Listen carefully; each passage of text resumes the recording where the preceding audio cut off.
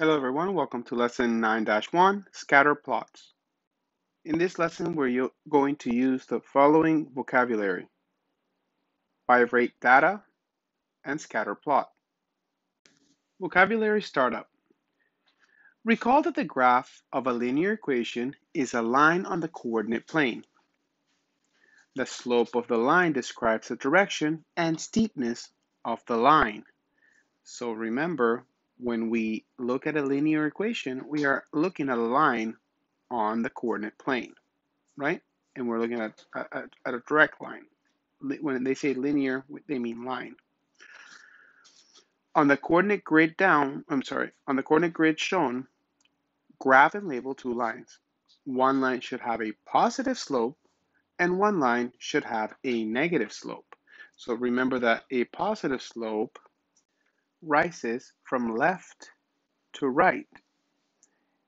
And we have these arrows to show that it's a continuous slope. Okay, it's not a line segment, it just it continues beyond this point. And a negative slope will slope from left to right, right? From left to right in this motion. I always think of uh, when we analyze a slope, I think of the way we read a book we always read from left to right. So if we see that from the left to the right, we are on a downward trend, this is a negative slope.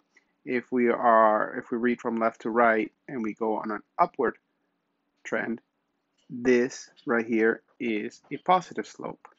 In these linear equations, remember that we have an x the, um, value and a y value, and the x value is independent while our y value is dependent on the x.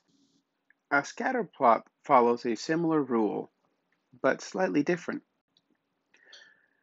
The data or data with two variables or pairs of numerical observations are called bivariate data. A scatter plot shows a relationship between bivariate data graphed as ordered pairs on a coordinate plane. For example, the bivariate data set year and number of visitors can be displayed as a scatter plot. So we can have number of years for x value and the number of visitors per year can be displayed as a scatter plot. And this is what we mean by that. So here we have the seasons at the bottom. Okay, so the number of years, or season one, season two, and so on. And then um, the viewers. And here we have, we start at 20 and we have go through increments of four each time. And you can see that for a scatter plot, we still have an x value and a y value, and we graph the data as we go. And you don't there's really no um, direct line or what we can say a linear variation. There's more of an association. We see a trend moving in the negative direction. Let's read this example. Construct a scatter plot of the number of viewers who watch new seasons of a certain television show. Let the horizontal axis, or x-axis, represent the number of seasons. Let the vertical axis, or y-axis, represent the number of viewers. So seasons, viewers. Then write the order pairs, season viewers. The order pairs being X, Y, X, Y. Television ratings. Here we have what you call a function table. And here we have essentially a coordinate or a graph, a, a scatter plot. And we see season 1, 31.7, season 2, 26.6, season 3, 25 viewers, season 4, 24.7 viewers. And you're probably wondering,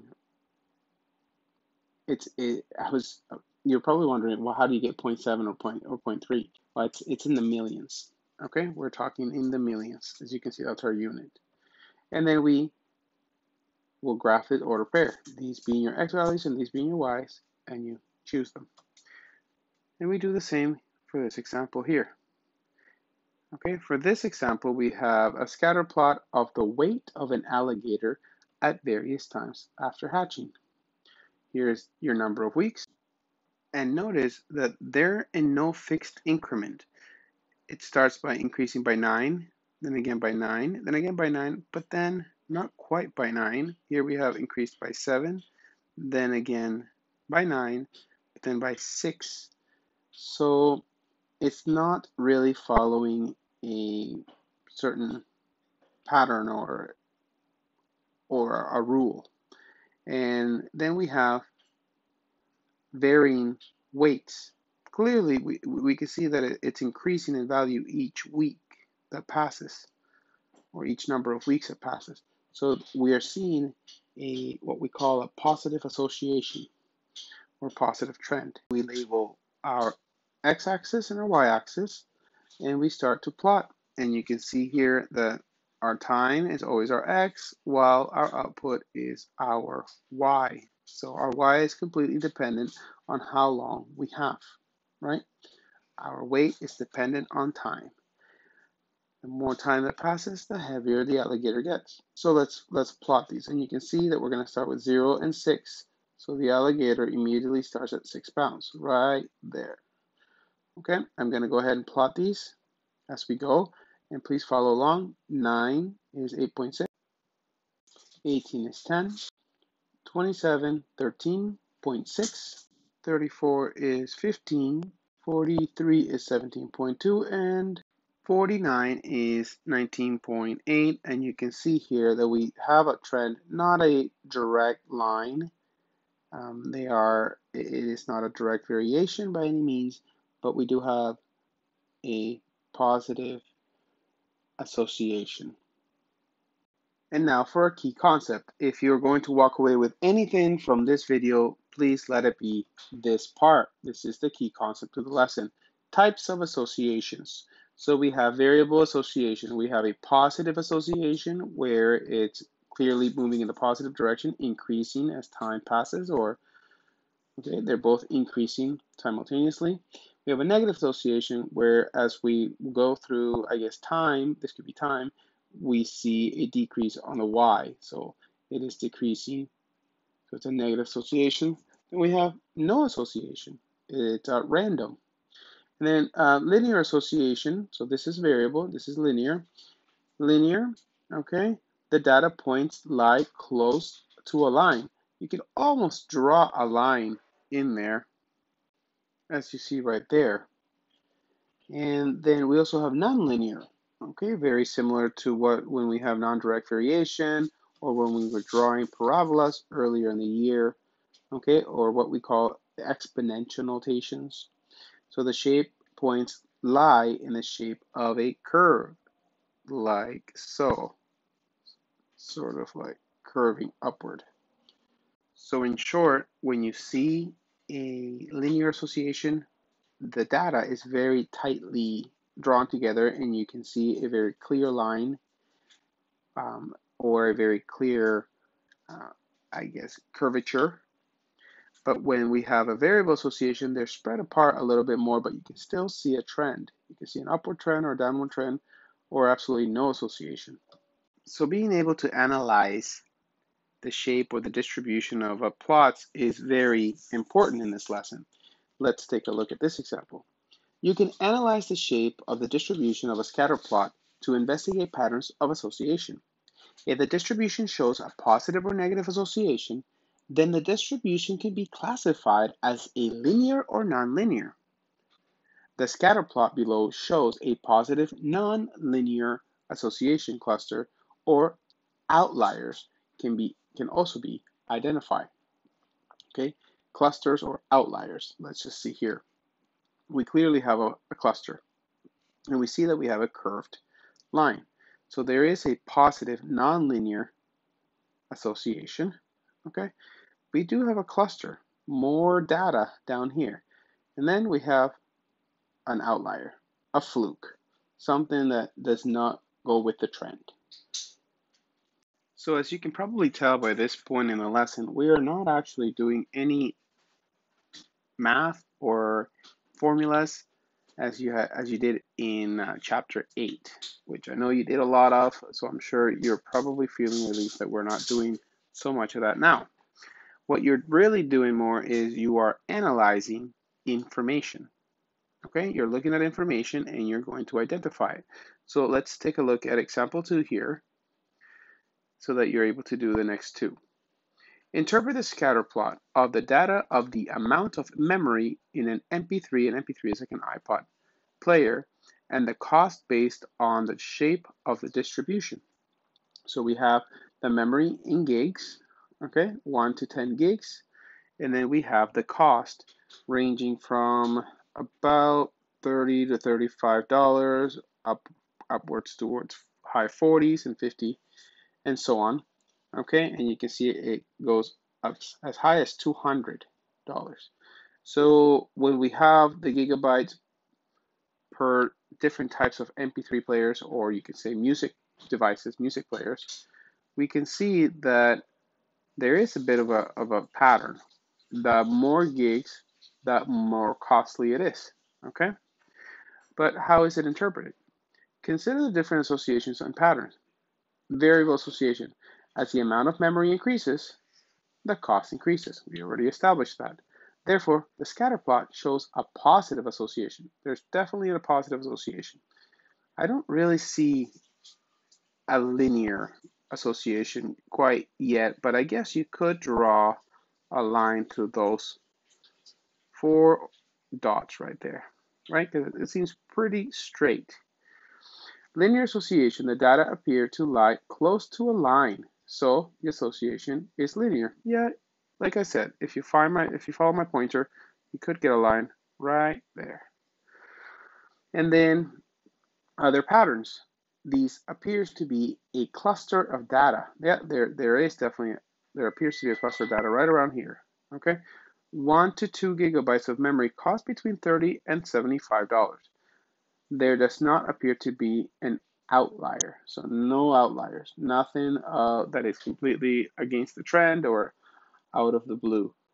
And yes, we do have a, a common standard sort of between one to two gigs, between 30 to $75. This is interesting information, guys. Interesting ways to analyze data and information. This is great for statistics. It's great for stocks. It's great for uh, weather patterns. Okay, let's try it here. Interpret the scatter plot of the data of the time elapsed and the temperature of water based on the shape of the distribution. So we see here time passing, right, from 5 minutes to 40 minutes. And then we see here temperature in Fahrenheit decreasing, right? It's, it's going down as time passes. So what can we say about this? Well, is it a positive or a negative association? Do we see a linear or nonlinear um, relation? And do we see an outlier? Okay, let's think on that one. So the first thing I would like to uh, write down is we have a negative association. As you can see, it is decreasing as time passes, so it's negative. More specifically, we have a linear association, and you can see we can draw we can draw a line there right through all the data. It would give us um, points very close to the line on either side of the line. So it is negative association, linear association, thanks to the fact that the uh, the data appear to lie close to a line, and there is there are no clusters. I don't see a clusters and I also see no outliers. So we write no cluster and no outliers. And this right here is essentially the information I want you to collect from these scatter plots. Let's do C together. Okay, now remember you can pause the video at this point and draw your own graphs. Take you a couple of minutes to do plot the points, and make these notes. Remember, these are your study notes for your tests when you do your tests. So it's important to be able to analyze. Okay, let's continue on. Interpret the scatter plot of the data for two weeks in May and the amount of ice cream sold at a shop based on the shape of the distribution. So we have here the days in May. Okay, all these days in May. And we have the number of pints sold, pints of ice cream. Now, I don't see how the day would really affect the the pints. So in in a way, we have two variables, two variables that don't vary directly. I would think that temperature would be a better, you would find a better, a more direct variation if the x values were temperature. The hotter it gets, maybe the more ice creams that is sold. But here, they're trying to see if there is any direct variation between the, the day of the month and the number of ice creams sold by pint. So what do we get? Well, I see there does not appear to be any variable association because it's scattered. So it's sort of random. And it's neither linear or nonlinear. I really don't see a line. I mean, I guess you could kind of see something there, but then you have all these outliers. So that makes it random or nonlinear. And there are no clusters and no outliers. So no association would be the first one I write. Neither linear and nonlinear. And no clusters and no outliers. So no cluster or outliers. Please make sure you've copied all three down. Example three. Okay, let's pay attention closely to this one, everybody, because it is quite interesting and this is what the whole point is about. It's about being able to make um, guesses or predictions, conjectures as we analyze data. Here we have um, one table. This is one table just split into two parts because we didn't have enough room to continue the table here. But you can see that the table shows public school enrollment from 1999 to 2010. So we have 11 years of data here, right? And we see that it goes from year zero, or 1999, all the way up to uh, 2010, year 11. And you can see that um, this is the number of students that are enrolled in public schools. In 1999, it was almost 47 million, then just over 47 million, and so on. Okay, so we're we are um, at the round the mark between 46 up to 50, and that's how many increased. Now we could find an average of uh, overall here if we really wanted to sort of see a, a rule or a function or how much did it increase by? Well, let's see. Quick mental math tells me that we went up by 3.1 million. 3.1 million in 11 years. So that would be just under 3 million per year. Okay, if my math is right, my mental math. So let's go here and see how this data, remember, our time is our x, so our number of years are x, and the number of students enrolled will be our y, our outcome. And construct and interpret a scattered plot of the data. If an association exists, make a conjecture about the number of students that will be enrolled in public school in the year 2015. So they want us to make a prediction based on the scatter plot. So we construct a scatter plot of the data, let the horizontal axis represent the years since 1999, and the vertical axis represent the number of students. We know that. So here we go. And let's analyze this. Okay, let's analyze this like mathematicians that we are. We have the number of years and we have our number our, of students in the millions. And we see that we started with 40, if I correct, if I remember correctly, let me see here, it was 46.9 million and then 47.2 million. So we try our best and we can see a clear association a positive association, correct? So the variable association is a positive association, as we can see. We can also see that it, there's a linear association. You could almost draw a line with a y um, intercept, with a y, uh, okay, and it would cut almost right through there.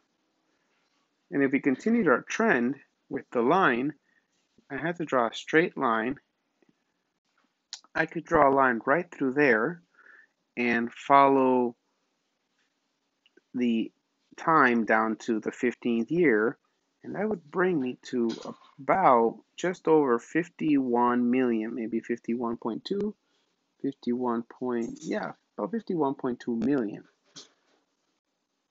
So it helps us make a prediction, okay?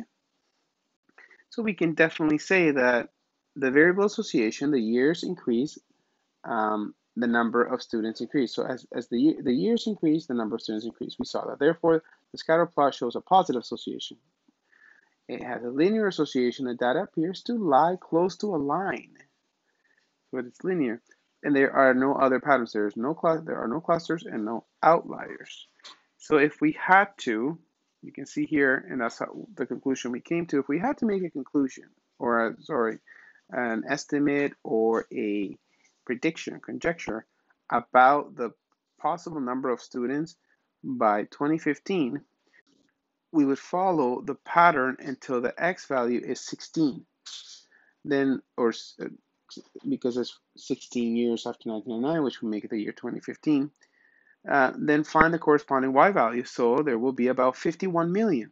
Uh, so I should have gone um, one more year over to the 51 million. But we were right on point there. Students enrolled in public schools in 2015, so about 51 million.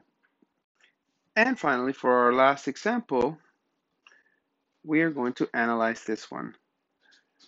I appreciate that you have stayed on top of this video the entire time and you have paid close attention to understand today's lesson so that when we do the guided practice, you will know exactly what to do. Let's take a look here at D. Interpret the scatter plot shown for the men's Olympic 100 meter freestyle swim winning times. If an association exists, make a conjecture about the winning time in the 2016 Olympics. Okay, so here we go. From 1952 to 2008, we see that the times have been decreasing. If the times are getting shorter as they swim, that means our swimmers are getting faster. All the way up to 2008, they are about 47 seconds. And in 1952, they were just at about 55 seconds. So from 55 down to about 47, we said, that's about 8 seconds faster. From 55, 8 seconds faster in about, what is this? What year would this be? This 1952 to 1960. Okay, we have about 8 years there. Yeah, and it goes up by 8 years each, each time. So 8 times 1, 2, 3, 4, 5, 6, 7, 8, 9, 10, 11, 12, 13, 14. 8 times 14 would be 112 if I'm not mistaken. Okay, so in 112 years, it's gone down by 8 seconds. We could do math, a mathematical equation of ratios and see and break that down to a unit and that could help us. But rather than doing that, why don't we use our newfound skill of finding that we have clearly in this direction, we have a, an association, right? There is a variable association, which is a negative association in this point, and we could almost draw a line. Could almost draw a line where we have the, the dots following or falling on both sides of the line. Okay? That something like this. So that means that if we had to make it an estimate as to the year 2016, which would just be another six years later, and it would place us here every two every two units, every two squares, we're jumping by eight years. So every one of these is four. So four and another four is 2016 and it would put us at about 46 seconds or maybe 46 and a half seconds 46 and a half because it doesn't quite cross there. So what can we say about this scatter plot? Well we can say that it has there's a negative linear association with no clusters or outliers. And if this pattern continues the winning time in 2016 should be about 46.5 seconds. please pause the video and make sure you copy this down because this is the information I will be looking for you to provide in the following answers in the guided practice, independent practice, and any skills practice or extra practice that we do. I hope you were able to learn today's skill on this video and I hope you enjoyed it. See you in class, everyone.